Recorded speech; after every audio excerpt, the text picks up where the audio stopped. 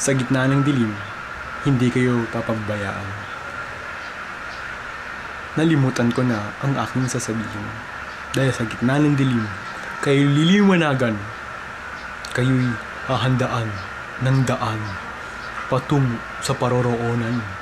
Kaya ituloy natin ang ating katarantaduhan.